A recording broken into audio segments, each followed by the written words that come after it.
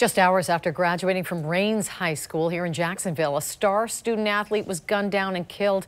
Family and friends have identified the teen who died as Rashaud Fields. News4JAX reporter Janice Harris is live near where the shooting happened in the Highlands area. Janice, so far no arrests have been made. Not yet. And according to someone in this area, they say they believe the young man ran down this sidewalk before he collapsed in this area. Now police are trying to figure out who took the life of this promising future of this Raines graduate. As the Raines High School class of 2022 walked across the stage, no one would have thought hours later that graduate Rashaud Fields would lose his life.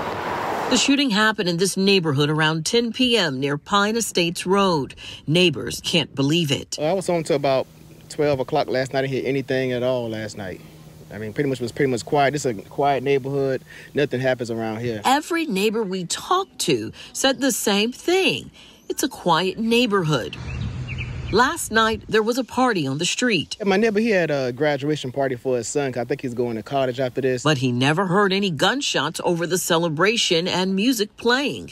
I tried talking to people at the home, but no one would comment. According to police, when JFRD arrived, they took Fields to the hospital and tried to save his life but he didn't survive. Few details have been released about the shooting, but we do know from Fields' friends and family he was a star student athlete and was excited about life and going to college.